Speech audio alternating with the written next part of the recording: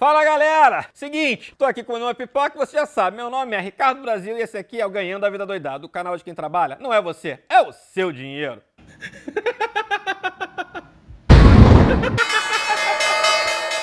Bem, galerinha, tô aqui comendo pipoca pra falar de queijo, queijo, queijo, queijo, queijo. Filmes de bolsa de valores, mas três filmes aí que vocês não podem deixar de ver, que faz muito sentido e é bacana você ver como é que é o mundo real. Bem, não esquece, ó, já ativa o sininho, se inscreve no canal, dá o seu like e deixe seus comentários. Tem algum filme bacana para indicar, já deixa aqui nos comentários. E não esquece de compartilhar esse vídeo também. Quais os filmes que eu acabei de ver?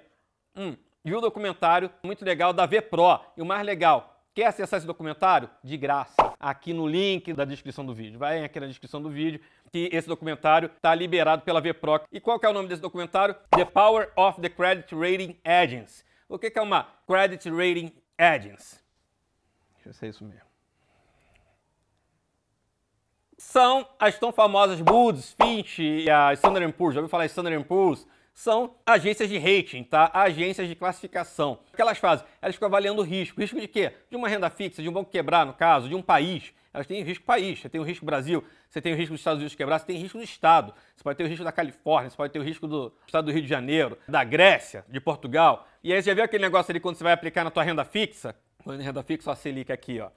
Quando você vai aplicar lá na renda fixa e tudo mais, você vê lá A, AA, AA+, B BB menos. Quem classifica aquilo ali são as agências de risco. A Moody's, a Standard Poor's, a Fitch e outras, tem outras. E é muito legal você ver como é que isso funciona, porque tem uma galera que trabalhou e aí vê que o negócio não é tão assim. Você vê que o negócio tem todo um interesse. Pra você ter noção, no próprio documentário, é um documentário, enfim, vida real, e lá fala mesmo que o próprio Estados Unidos não paga para ser classificado. Mas por que que classifica os Estados Unidos? Porque é interessante para agências de rating classificar os Estados Unidos. Quem não quer classificação dos Estados Unidos? Risco Brasil.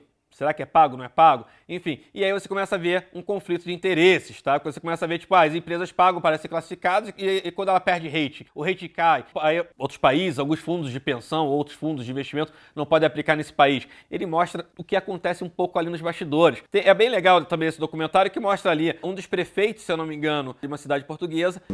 Nós vivemos uma guerra, é uma nova guerra, não é feita com exércitos, mas é feita com outros instrumentos. These are very powerful companies.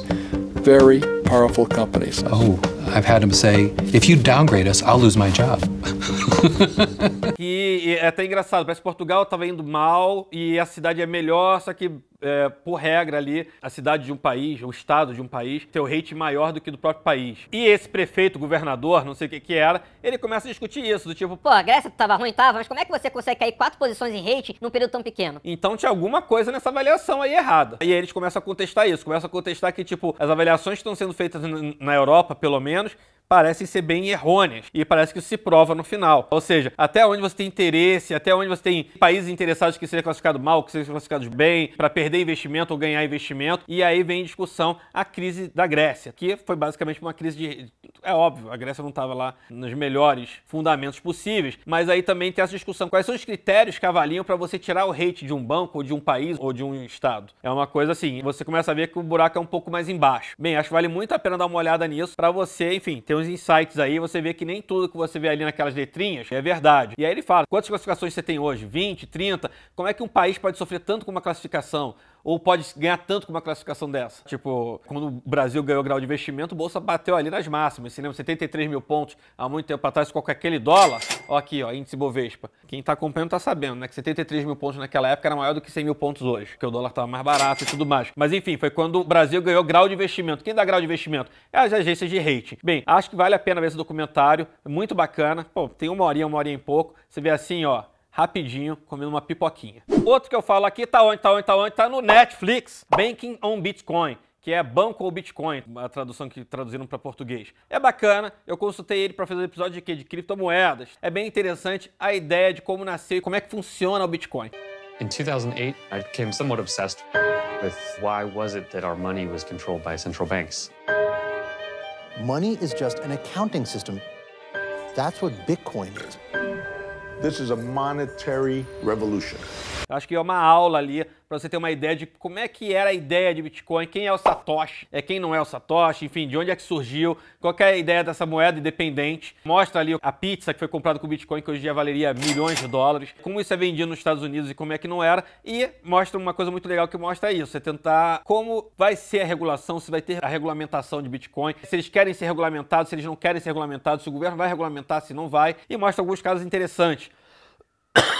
Tosse, véia! Como, por exemplo, um cara que era dono de uma exchange, uma exchange seria como se fosse uma corretora, e parece que usava um Bitcoin para comprar coisas no Deep Web. Para quem não sabe, Deep Web, Deep Web é o mundo obscuro da internet. Você compra drogas, mulheres, homens, sei lá, tu compra tudo naquele negócio. São coisas ilegais. E aí o pessoal usava Bitcoin para pedir drogas, sei lá o que que pediam ali, não sei o que lá e tal. E aí o cara, hoje acho que tá com uma tornozeleira, uma história meio mal contada ali, não fica numa conclusão, mas aí julga o cara que o cara é dono de uma exchange e o dinheiro era usado para isso, mas não era o dinheiro dele. Aí eu acho muito legal a analogia e o cara prefere não ir para o julgamento, ele prefere ficar na vida ali com uma tornozeleira, pelo que eu entendi, com medo de ser julgado e aí sim ficar preso, levar uma prisão perpétua ou alguma coisa do tipo. Ou seja, tava o quê? O cara dono da exchange, aí porque usam os bitcoins e tudo mais para usar na, na Deep Web, começa a associar o cara como se fosse um criminoso. Mas ele, a argumentação que ele fala, pô, mas então quando você pega ali o HSBC, o Bradesco, você vai no caixa eletrônico e tira o dinheiro e você usa pra comprar droga. Não é o dono do Bradesco, não é o dono do HSBC, é o dono do Banco do Brasil que é culpado por isso. Você pega o dinheiro. Culpado, quem compra droga ou quem compra uma arma, quem assassina com a arma e tudo mais, não tem muito a ver. Aí é uma discussão interessante que chega nesse. nesse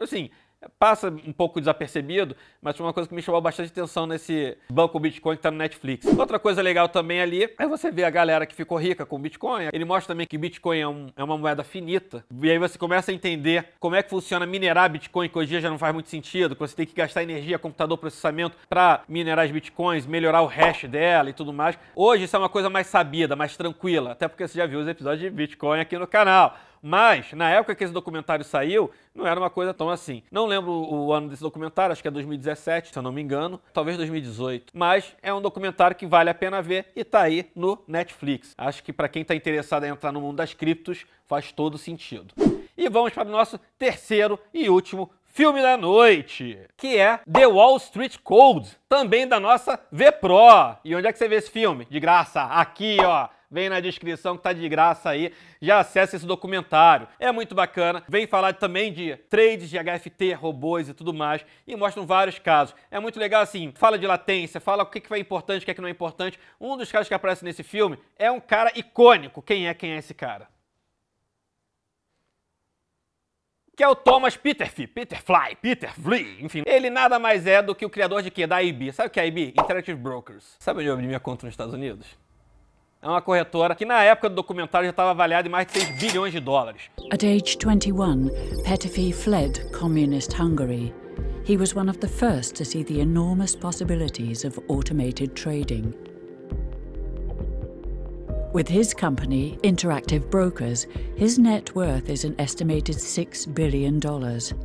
E legal desse documentário é justamente isso, que você mostra a evolução das coisas. Tipo, esse cara fez o primeiro ticker do mundo. Ele queria acompanhar a bolsa que tava lá em New Jersey, lá o data center, nem sei se tinha data center naquela época, e ele já tinha criado um ticker em casa para ver as opções, e aí tinha uma telinha, então já era touch. E aí ele criou um sistema que conseguia passar a ordem para a bolsa de Nova York. Aí a bolsa não aceitava porque tinha que ter um teclado. Aí ele fez um robozinho que apertava o teclado. Assim, olha a loucura, olha só, é muito legal que mostra a evolução das coisas. Adoro usar antenas e tudo mais, porque a antena, é o ar é mais rápido do que a fibra ótica. O problema é quando vem uma nuvem ali no meio. Aí ele começa a falar de latência, o, o quanto milissegundo pode ser fundamental para quem está trabalhando com HFT. Inclusive, fala também do problema da Goldman Sachs. Foi famoso que a Goldman Sachs perdeu 100 milhões de dólares em 17 minutos. Por quê? Erro de algoritmo.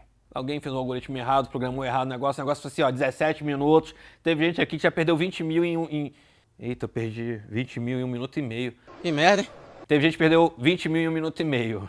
Tá? Tem Mac mais caro do mundo. E ele começa a ver essa evolução para os algoritmos. Mostra também que, tipo, os problemas que tiveram na abertura de Facebook. Sabia que na abertura de capital de Facebook teve problema, o leilão foi adiado por meia hora, teve problema de sistemas e tudo mais. Para quem quer se inteirar mais na parte tecnológica de bolsa, eu acho que assim, qualquer pessoa que esteja começando, mesmo Ah, tá começando em bolsa, não precisa saber isso. precisa sim. Que hoje em dia tu já vai entrar numa bolsa totalmente automatizada. Não é mais aquela bolsa de 10 anos atrás. Afinal de contas, quer saber como é que era a bolsa 10 anos atrás? já assiste esse episódio aqui. Bem, é isso. Acho que é muito legal ver esse documentário. Faz muito sentido. Já tinha visto ele, revi esses dias só para poder falar o que, que falava nele aqui. Quer assistir o documentário? Tá aqui embaixo todos os filmes e todos os documentários que eu falei aqui nesse episódio. E agora vou continuar comendo aqui minha pipoquinha com a minha pantufinha Scooby-Doo, yeah! E não se esquece de se inscrever no canal, tá? Ativar as notificações. E agora você já sabe, pregão? Não, hoje não é pregão. Hoje é sessão encerrada. Tá aparecendo seu celular, com a tela ligada. Ixi, aparece o quê? Joga o controle pra lá também. Esse controle pra lá. Controle pode deixar. Pode deixar, né? É, tá. Ou deixa, não, deixa o celular no seu colo. Mas ele com a tela ligada, ele fica chamando atenção.